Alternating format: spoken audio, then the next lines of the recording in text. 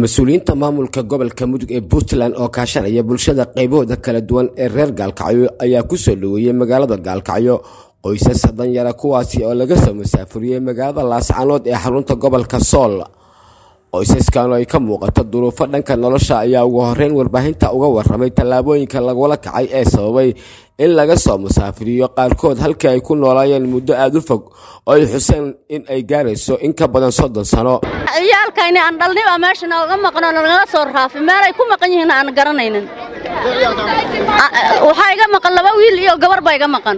Oo gurigii ku wada jirno hurdayna baana na soo kaxeeyey dembigii maanta noo noo soo kaxeeyeyna ma garanayno.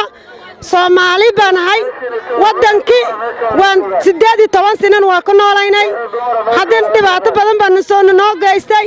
Soddon sinaan baa ku maqnay naasaxanood maanta maantana waxaan ku socnaa maro yaroo galange baan la soconaa ilmaheenna waa kuwa maro ma qabno. Waxaas nimanka hugun yihiinba nimanka ka qaadanay. Qori baadkii sidaana noogu waday barrafka laascaanana naga soo saaray. Ilmaheenna qaar xataa meelay joogaan magan habeen horesey noo soo qabteen. Afkii ahaa markaan annaga buntland soo gaarnayba biyo iyona na siiyey. Annagoo gaajo xun qaa'ayno annago xaamala bish alaad baan ku jiraa. Dalkaygaan soo qaadanay aruurtii aanoodan doonata wuu idiiday kuwa umulaha shan habeen dhalan baa ku jira kuwa maxay ahayd waxaa dhan gaari ku dhex foolanayay intadeedii xoolahaygii baad haysataan. Waa anigi meheraddeeda iga soo kaxayseen. Ciyaalkayga iga soo kaxayseen.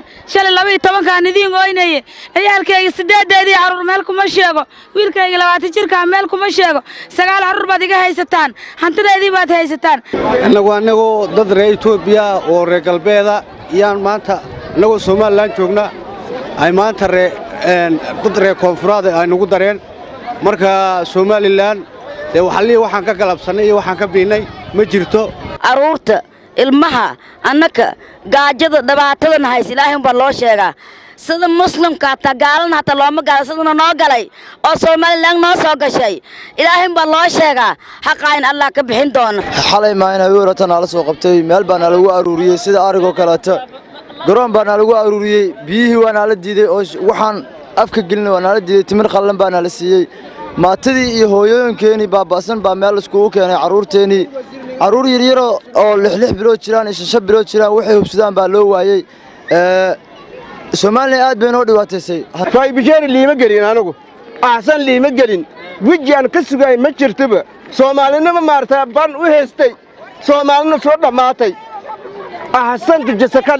duqa degmada gaalkacyo maxamuud cabdinuur aadan iyo guddoomiye ku-xigeenka gobolka mudug maxamed xasan walloore ayaa iyaguna wax laga xumaada ku tilmaamay tallaabada lagula kacay qoysaska soomaaliyeed. Somalilan annagoo ummaddii soomaaliyeed afkeeda ku hadlayna waxaan leennahay ku soo dhowaada dhulkiinnii idinkoo xor ah idinkoon maxaabiis ahayn idinkoo wax tacadiya haba yaraatee aan naga filanayn